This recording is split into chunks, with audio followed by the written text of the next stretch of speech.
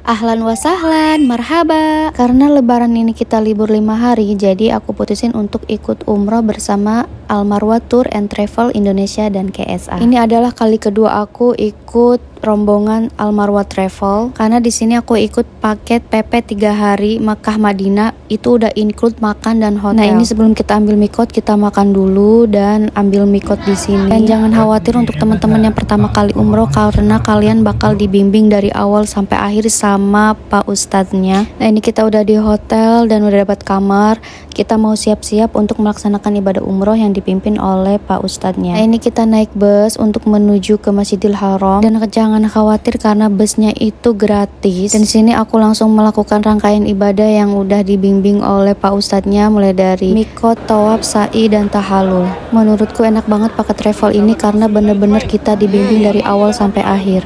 Setelah itu kita melakukan tahalul, potong rambut, dan kita kembali ke hotel. Sekitar pukul jam 5 sore kita langsung melanjutkan perjalanan untuk uh, tour ke Mina dan ke Jabal Rahmah dan dilanjutkan perjalanan menuju Madinah untuk ziarah ke Masjid Kuba dan Masjid Nabawi. Dan kalau dari sini tuh rasanya hati adem banget. Setelah sholat di Masjid Nabawi kita langsung menuju ke Jabal Uhud untuk berziarah dan melanjutkan perjalanan pulang kembali ke Riyadh. Dan by the way, serunya di sini tuh ketika pulang kita akan dapat door prize dan aku alhamdulillah dapat sajadah.